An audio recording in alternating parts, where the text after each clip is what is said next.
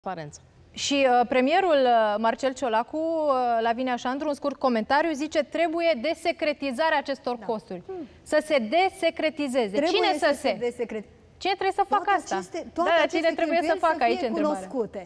Cunoscute. Acum, nu va în- putea în- să fie doar voința primului ministru, va trebui să fie de acord și restul guvernului, dar sunt convinsă că o va face foarte repede. Și o să aflăm foarte repede exact pe ce s-au dus acești 25 de milioane de euro. O să Până vedem. acum n-a făcut-o nimeni și toată Până lumea acum nu a a făcut-o stat, nimeni, dar s-a trebuie să uitat facă. cum toate cheltuielile administrației prezidențiale sunt la secret și noi trebuie să acceptăm Bine, asta, că nu e așa, Nimeni suntem nu pe, și-a bu- imaginat pe banii noștri. că sunt. aceste cheltuieli, pe măsură ce ne apropiem de finalul celui de-al doilea mandat, vor crește uh, armonic, da? Nu exponențial, da? Mai Vor vine o crește informație- atât de mult.